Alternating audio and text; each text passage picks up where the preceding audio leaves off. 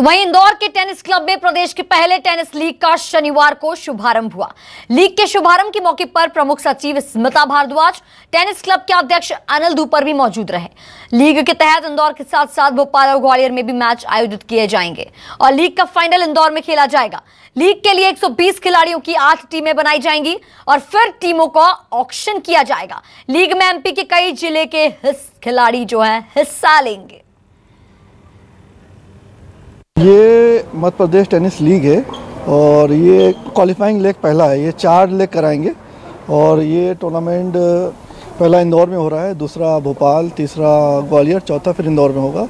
इसमें तकरीबन 120 खिलाड़ी निकलेंगे और इनकी आठ टीमें बनेंगी, जो कि ऑक्शन किया जाएगा इनका फाइनल्स के लिए।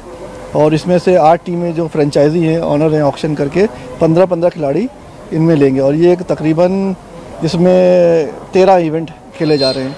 ये एक बहुत ही अच्छा प्रयास है, क्योंकि पहली बार प्रदेश में एमपी टेनिस लीग की शुरुआत हो रही है और सिर्फ़ इंदौर में ही नहीं, भोपाल में भी होगा, जबलपुर में होगा, अन्य शहर से बच्चे आए हैं, आज यहाँ रतलाम से आए हैं।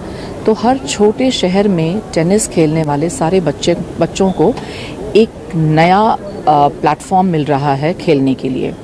और हम चाहते हैं कि मध्य प्रदेश के खिलाड़ी ना सिर्फ़ राष्ट्रीय बल्कि अंतर्राष्ट्रीय स्तर पे जाएँ और ये सारी सुविधाएँ यहाँ पे उपलब्ध हैं। तो वाकई प्रशंसनीय प्रयास है ये। एमपी टेनिस लीग ये पहली बार है कि मध्य प्रदेश में एक ग्रुप ने एक अच्छा काम करने का ये अपने ऊपर नई व्यवस्थाओं के साथ चालू करने की कोशिश की है। एमपी टेनिस एसोसिएशन इसका पूरा सपोर्ट करता है। ये लीग जैसे अलग अलग जगहों में होगी, इंदौर, भोपाल और ग्वालियर में। इसके बाद फाइनल्स फिर से इंदौर में होंगे। ये पूरे देश में ये अपनी तरह का ये पहला प्रयास है। ये tournament Madhya Pradesh tennis league के नाम से हो रहा है और इस लीग के पहले चार सिलेक्शन टूर्नामेंट हो रहे हैं, जिनका नाम हमने क्वालिफाइंग लेग रखा है।